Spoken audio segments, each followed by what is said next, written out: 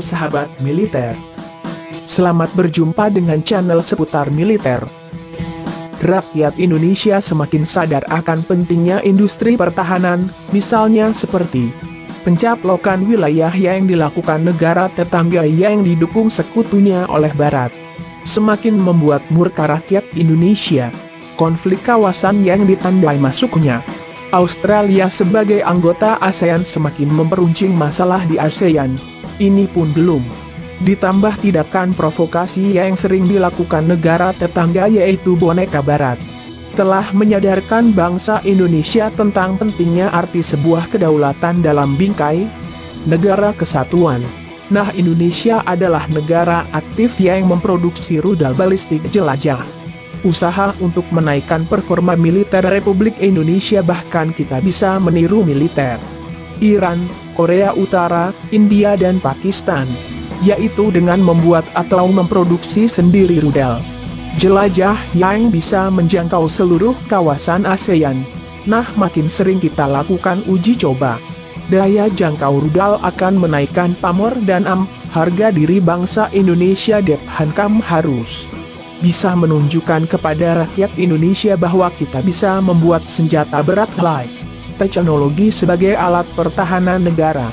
Selama ini kita masih mengandalkan pembelian alat senjata pertahanan negara dari negara lain di mana syarat-syarat pembelian senjata selalu ada yang terkait dengan hak asasi manusia dan yang paling parah kena sanksi embargo. Pembelian suku cadang ya sudah matilah kita. Hal seperti itu jangan terjadi lagi, mari kita bangun membangun negara yang kuat dengan kemampuan kita sendiri, jangan selalu membebani APBN minim anggaran pertahanannya. Lakukan penelitian, bentuk lembaga khusus pembuatan rudal balistik dan libatkan mahasiswa dan perguruan tinggi sebagai bahan kajian, libatkan BIN, Badan Intelijen Negara, mencari dan am, mempelajari teknologi rudal negara lain. Roket Indonesia mampu mengangkut hulu ledak nuklir berkekuatan 1/2 dari bom nuklir Amerika Serikat dijatuhkan di Hiroshima, Jepang. Setelah berhasil uji coba 9 jenis roket dan satu jenis roket gagal, roket Indonesia siap mengangkut hulu ledak nuklir. Belajar dari Korea Utara dunia mungkin tidak akan pernah mencapai keadaan senjata nuklir. Namun, apa yang dikemukakan mantan presiden Amerika Serikat Barack Obama tentang dunia bebas bom, akan membantu membuat banyak hal yang lebih baik daripada yang lain juga mau membantu serupa, The Economist, 11-17 April 2009, Korea Utara memang negara yang misterius, tetapi suka menghadirkan kejutan. Setelah puas dengan perundingan enam pihak yang menerima Amerika Serikat, Rusia, China, Jepang, dan Korea Selatan, tanpa didahului, Senin, 25-5, negara yang masih menganut sistem komunis. Stalinis ini telah membuktikan berhasilnya menguji coba itu, terkait dengan reaksi dan kecaman internasional, rezim di Pyongyang ini ingin meyakinkan dunia, juga untuk rakyat. Korut sendiri, status perkembangan demokrasi korut tak bisa diragukan lagi, secara politis, langkah uji coba emisi juga dilakukan di tengah-tengah upaya Seng pemimpin Kim. Uji coba yang dilakukan di bawah tanah ini juga dilakukan dengan aman. Seperti yang disampaikan oleh kantor berita resmi Korut KCNA yang dikutip HT 26/5 hasil pengujian telah membantu menyelesaikan masalah ilmiah dan teknologis yang muncul dalam upaya meningkatkan kekuatan senjata nuklir, dan seiring dengan itu juga membantu pengembangan teknologi nuklir. Melengkapi keterkejutan dunia, sesaat setelah meluncurkan uji ledakan. Korut juga meluncurkan rudal kelepas pantai timur. Rudal ini memang berjelajah pendek. Tetapi hal ini juga perlu dicatat karena merupakan bagian dari upaya Korut untuk menyempurnakan kemampuan wahana peluncur hulu ledak nuklir.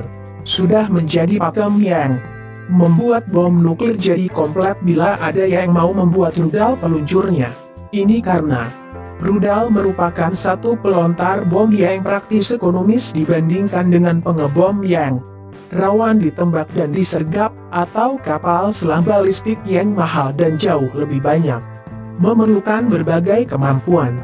Kini, meski dikecam dunia, Korut berhasil membuktikan tidak hanya tekad, tetapi juga mendukung teknologi nuklirnya. Sekadar catatan, uji coba pertama. Korut dilakukan pada 9 Oktober 2006, namun hasilnya tidak memuaskan. Sekarang, uji Heng menghasilkan gempa berkekuatan lebih besar, dalam magnitudo 4, 55,3, bandingkan uji. Pertama yang hanya menghasilkan gempa berkekuatan 3,6. Daya ledak nuklir Korut yang diubah pada 25 Mei oleh juru bicara Kementerian Pertahanan Rusia Alexander Drobiszewski ke kantor. Berita RIA Novosti mengharapkan 10 hingga 20 kiloton, sementara daya yang pertama hanya 0,8 kiloton. Daya ledak misi sebesar 1 kiloton setara dengan 1000 ton trinitrotoluena, TNT, atau dinamit. Sementara itu, pakar keamanan dari Universitas Korea di Seoul, Mengutip, ledak daya Korut, Senin lalu, hanya satu kiloton. Berapapun dayanya, uji kedua. Yang juga dilakukan di timur laut, kota Kilju ini dipandang lebih berhasil dibandingkan dengan uji peledakan pertama. Pada uji 2006, Korut membantah terlalu memperdebatkan dalam desain bomnya, lalu mereka juga menggunakan plutonium yang tidak pas, atau tidak berhasil mengumpulkan tantangan, Wall Street Journal. Sementara itu dengan perubahan paradigma pada tahun 1997 ditetapkan UU nomor 10 tentang ketenaga nukliran yang di antaranya mengatur pemisahan unsur pelaksana kegiatan pemanfaatan tenaga nuklir, Batan, dengan unsur pengawas tenaga nuklir, Bapeten, Badan Pengawas Tenaga Nuklir, Bapeten, didirikan tahun 1998. Penelitian energi atom dimulai di Indonesia. Selain untuk memproduksi listrik, teknologi nuklir juga digunakan untuk kegunaan medis, manipulasi genetika dan agrikultur. Rencana untuk program atom dihentikan tahun 1997 karena penemuan gas alam Natuna, tetapi program ini kembali dijalankan sejak tahun 2005. Indonesia menyatakan bahwa program akan berkembang dengan pantauan International Atomic Energy Agency, IAEA. Oleh sebab itu, Mahathir Baradei diundang untuk mengunjungi negara. Ini pada Desember 2006. Protes terhadap rencana ini muncul pada Juni 2007 di dekat Jawa. Tengah dan juga lonjakan pada pertengahan 2007.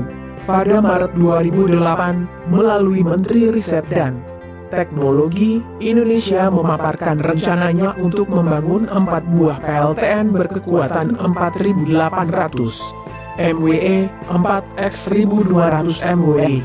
Lokasi reaktor nuklir untuk penelitian, reaktor percobaan telah dibuat di Indonesia, Bandung, Jawa Barat. Pusat Penelitian Tenaga Nuklir PPTN Bandung Reaktor Trigamar II berkapasitas 250 kW diresmikan 1965, kemudian ditingkatkan kapasitasnya menjadi 2 MW pada tahun 2000.